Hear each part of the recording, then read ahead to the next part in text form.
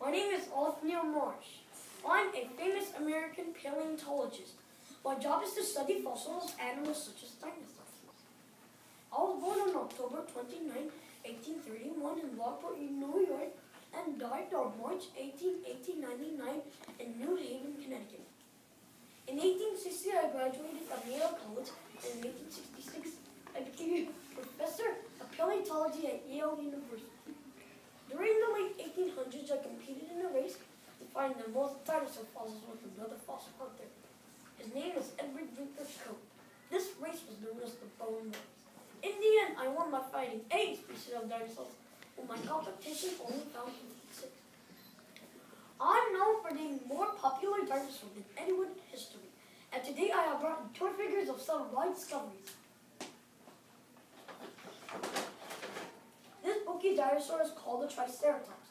It has three large horns and a frill to defend itself against other dinosaurs.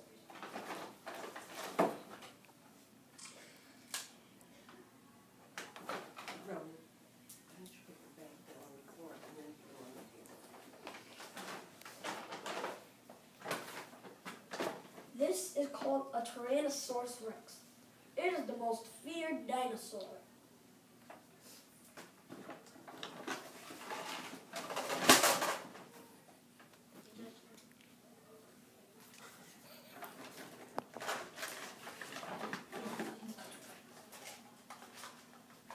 This Allosaurus, and it is a and it is a carnivore or meat eater like the T-Rex.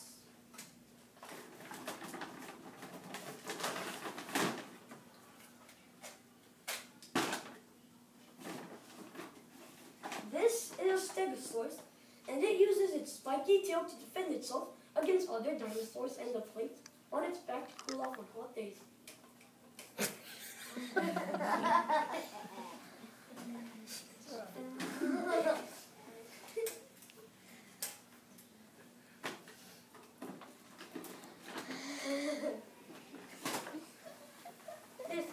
is a pteranodon, and it looks like a giant bird with a 20-foot wingspan. Last but not least is a brontosaurus, a dinosaur that never really existed. I was in such a hurry to win the Bone Wars that they made a mistake of putting the wrong skull on the wrong body. I apologize for this. I apologize for this mistake, but please keep in mind perfect. Thank you for giving me this great opportunity to talk about who I am and my accomplishments. And for being the best audience, I'll give each and every one of you a fossil white snail.